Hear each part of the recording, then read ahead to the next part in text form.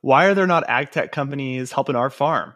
Tim, what what what gives? We we have had this podcast for six years, and uh, you know, ninety percent. I'm just kidding.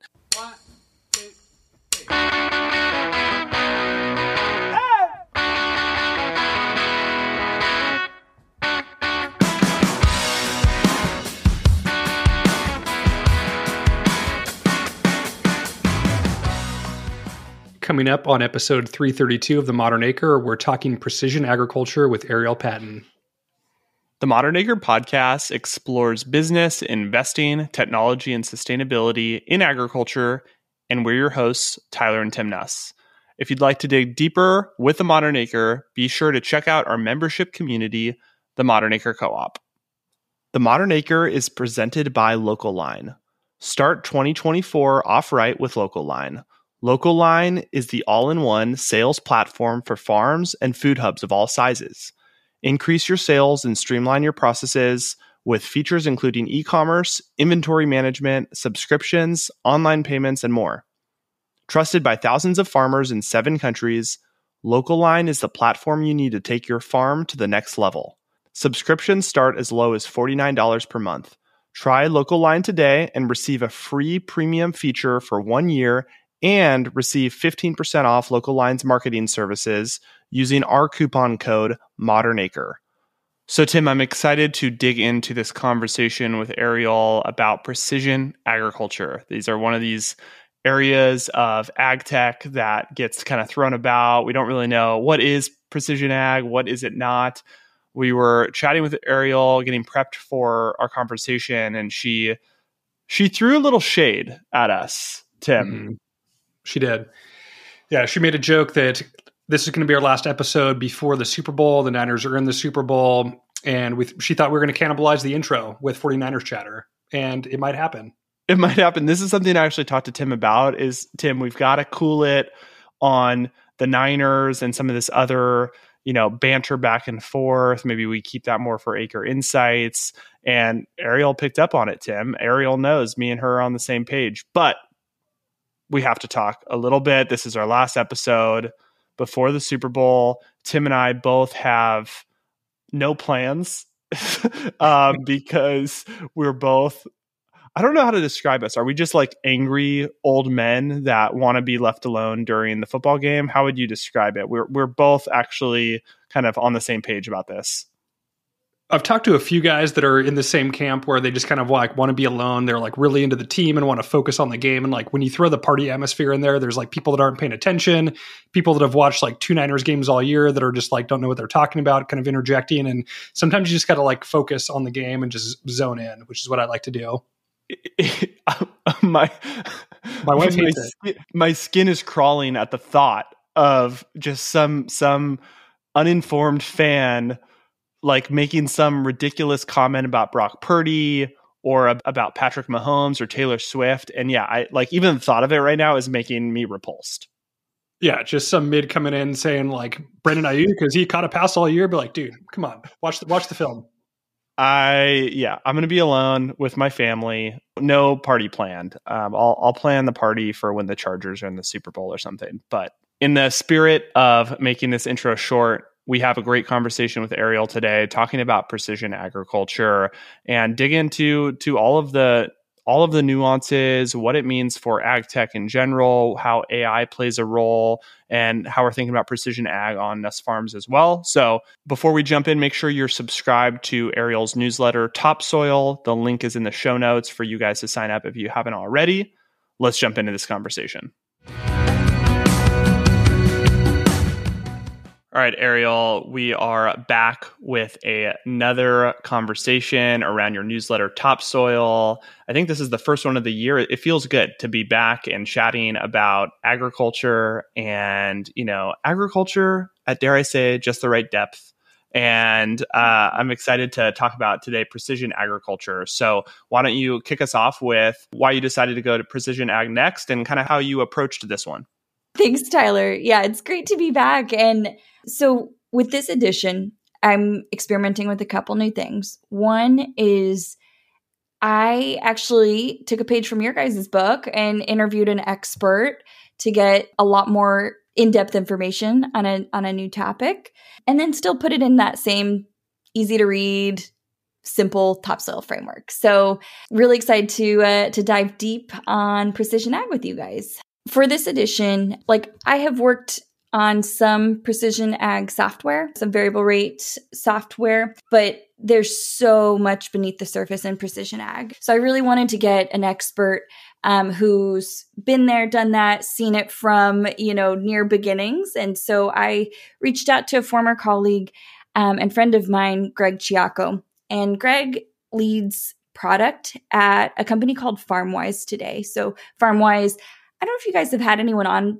from there, but they have some really neat technology, a robotic weeding implement, and, other technology um, to help vegetable farmers. Uh, Tim, Nuss Farms, you know, maybe weed their vegetables with much less labor. So, Greg's experience really goes back 20 plus years. He um, previously worked at Trimble and Topcon, which are some pretty big names in the precision ag space, and and um, since then has you know we met at Granular, and and he also had worked at Mineral as well, previous um, to his time at FarmWise, as well as the Climate Corporation. Yeah, I, I love how you're approaching it, and you know, you said you took a page out of our book. Really, Tim and I aren't that smart. And so uh, when we started the podcast, we're like, how do we talk to people that are smarter than us and give them a platform to share? And you know, that's what we're even doing with with you and Topsoil and all the great insights that you have distilled. But I love that interviewing an expert and going deep on a specific topic is is super smart. I loved the addition. So let's get into like what is precision agriculture. I think that you kind of start your addition talking about how it's this ubiquitous term a la regenerative agriculture all you know like it's one of these words that we don't really know exactly what it means. So why don't we start there?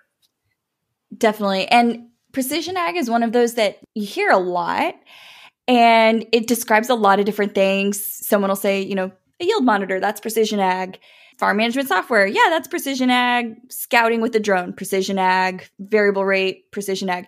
So those are all really different things. And so it was always a little bit confusing.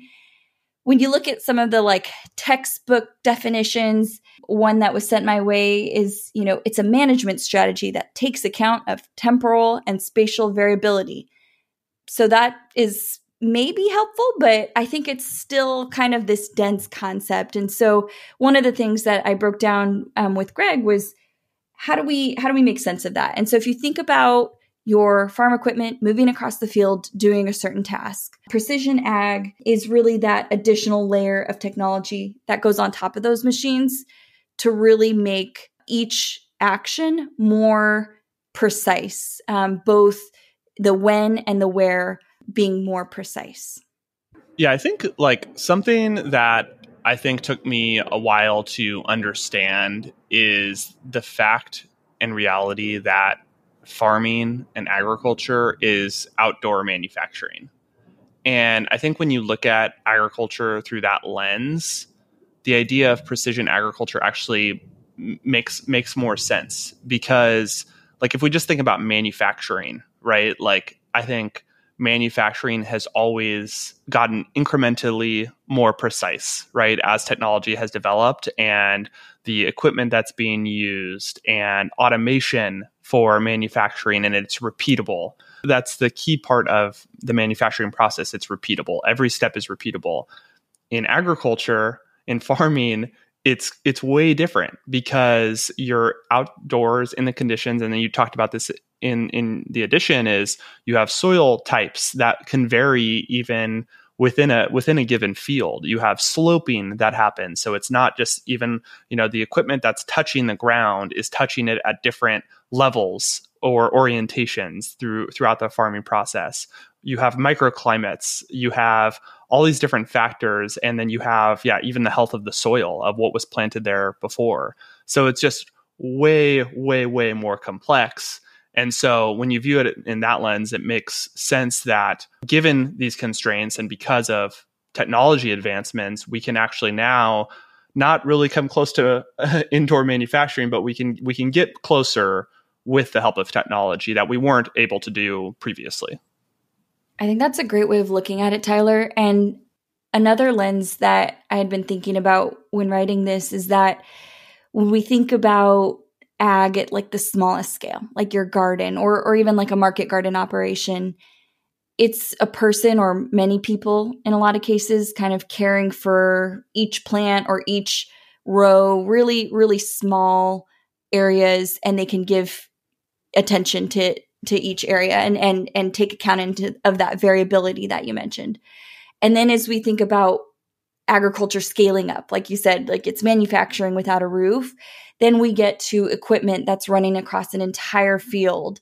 And without precision ag, it's treating the whole field roughly the same, whether or not that's true with all the other agronomic conditions. And then I think we're where we're at with precision ag is we're kind of getting back to that, you know, plant or row or section management but instead of requiring a massive number of people to do that, um, we're able to use technology, and and that's been made possible by different uh, underlying technology advancements, like having GPS. Uh, and different measuring and, and monitoring and data management, all these underlying technologies that come together that actually allow precision ag to be possible. Yeah, I think the scale issue is is super important. I think a lot of people don't realize like how critical that is. Like just looking at one bell pepper field that we have this year, there's over a million plants in that one field, and that's one of you know 25 plus fields that we have. So think about tending for a million plus plants is pretty crazy when you think about farming that scale and think the challenge has been kind of commercializing this technology for all the different crop types and all the different nuances that we've talked about where a lot of where this is being deployed is in the midwest on on corn and beads and row crop. We we talked to jorge the co-founder of blue river on the podcast a couple weeks ago and they their early trials were in the salinas valley working on leafy greens and when they actually like got some traction with john deere they ultimately pivoted to going to to row crops. And so uh, being a farmer in California, like I see all this technology and precision ag, and like, oh, this is so awesome. I wish we could have like variable rate application, but like a lot of the crops that we grow, there's just not models or companies focused on kind of like smaller, smaller crops within California. Yeah, Tim, and I think that's what's interesting. Kind of calling back to one of our conversations about the different economics of specialty crops and row crops with with the really tight margins but large volumes in areas for row crops. I think that's where a lot of this technology has been commercialized um, or is is kind of leading. But you know, I, I know you and I walked the show at FIRA uh, a few months back and and saw some really cool, maybe more specialty focused tools there. So hopefully, hopefully more to come for for specialty crops as the costs of labor go up. Um, these solutions might make more sense. Ariel, maybe let's dig into the different sections of precision precision agriculture that you lay out. There's one component that's focused on data collection and one part that's more machine control. Maybe just talk to us about the different segmentation within precision agriculture that you laid out. Yeah, and so as I mentioned earlier, precision ag is this very large tent that a lot of different technologies fit under and at one point I was wondering is it even a useful terminology? Is it just like all ag is precise to some extent? But I think when you go to shows like Farm Progress, like there's still a precision ag area. And I, and I think we still think of it as this separate additional layer. So we broke down all the different types of precision ag solutions into these different buckets. And like you mentioned, there's think of it as two halves. There's one half that's really about the machine control. So your tractor or implement control. And then the other half is really around data and and what we can do with that data. So on the machine control side, you know, there's the auto steer and we could talk about that a little bit more, but can your tractor go in a straight line or, you know, a GPS guided precise line?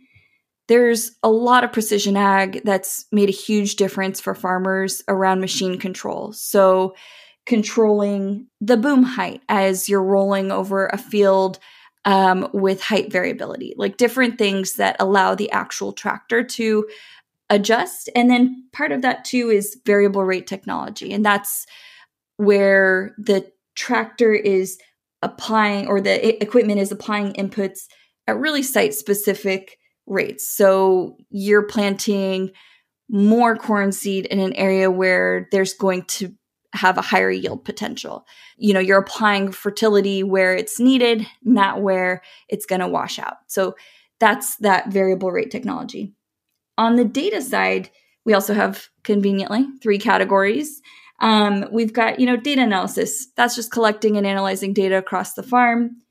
Mapping, I think because you guys obviously know this, like so much of ag is so dependent on your field and what's going on in that field. There's a ton of really interesting technology that has to do with mapping and just giving farmers information about what's happening within that field. And then machine analytics um, around how much was this equipment, uh, how much is this equipment being used? Where is it in the field? I remember one of uh, the farmers I had worked with previously uh, had talked about his wife's favorite feature was being able to see exactly where he was in the field and um, and knowing you know how far or close he was from home. Did he you know make a, a pit stop anything like that? So there's some really interesting machine analytics as well around where equipment is um, that can be used for a whole variety of purposes that reminds me of like my I don't wear an Apple Watch anymore, but my favorite feature of the Apple Watch was to ping my iPhone so I know where where my where my phone is. Um, sometimes it's the little things. But Tim, I, I was thinking we, we should chat a little bit more about how we're thinking about precision ag on our farm. I think that we largely have not really taken advantage of or invested a ton in precision ag. And I think there's a number of reasons for that. Most notably, Tim, what comes to mind for me is I think precision ag becomes more challenging as you incorporate more complexity and more crops, right? So we have, what is it, Tim? 10 crops um, every year, um, about and those crops are not staying in the same location every year. So so not only do we have 10 crops, those 10 are changing every given year, right? We're adding one, subtracting two, and then they're changing locations of the fields. So that just creates some challenges to maximize the benefit of precision ag versus a corn field that's being planted in corn every year that's 10,000 acres, right? Where um, you can kind of put that same technology layer, that same model across the whole farm. So Tim, yeah, what, what are your, what, you can maybe speak to what we, what we have used, what, what we don't use and your thoughts on that. Yeah, pretty good overview of like some of the challenges that that we've had, like just operationally how we operate as a farm, having multiple different crops, and for us, it, it's kind of hard because we beyond just that what you just described ty we have different bed configurations where some crops are on 40 inch beds some are on 60 some are on 80 so to invest in equipment that's like static to a certain configuration that's variable is, is pretty challenging. And like ty you and i've talked to hundreds of different ag tech companies and a lot of them aren't focused on crops that we grow. Like if they are focused on specialty crops it's probably permanents like almonds or vineyard type crops or leafy greens in the salinas valley where um, there's still I, I think a pretty big need for crops that that we grow that are just not top of the priority list for a lot of these companies that are developing the tech. Um, I think some of the challenges still are just kind of the the adoption, like I already mentioned, in the addition about the adoption of of auto steering, where it just seems like every tractor has auto steering at this point, but the adoption curve has been very very slow on this kind of like 30 plus year old technology, and um, I think that adoption curve just lags in agriculture. I think partly due to cost, partly due to to use case, where some of these technologies just aren't fully functional in every every situation, and so that's why the adoption curve is lacked. For us, the investment, like this year, we we've talked about weeding on previous conversation about technology being deployed there, and like the investment we're making this year is for finger weeders. So it's like very very low tech. It's going to be an opportunity for us to try those in tomatoes this year to make the investment. It's not a, a million dollar laser weeder. It's not a, a, smart cultivator, but it's something that's kind of like moving in that direction um, that hopefully will eliminate some hand weeding and kind of step in that direction. And it's, you know, a hundredth of the cost. So it's an investment that we can make to start moving in that direction. Yeah, Tim, it's interesting to hear kind of that progression for your for your farm and how you're thinking about what's the crawl walk run sequence there makes a ton of sense to to start and see the the ROI that you get and and go from there. All right, so I have two questions. One, why are there not ag tech companies helping our farm? Tim? What what what gives? We we have had this podcast for six years, and uh, you know, ninety percent. I'm just kidding. Okay, so that that's question one. question two is for Ariel. Is you know, I read about precision agriculture. It it all makes sense to me. We've talked to a number of different ag tech startups that are playing, you know, in in this space.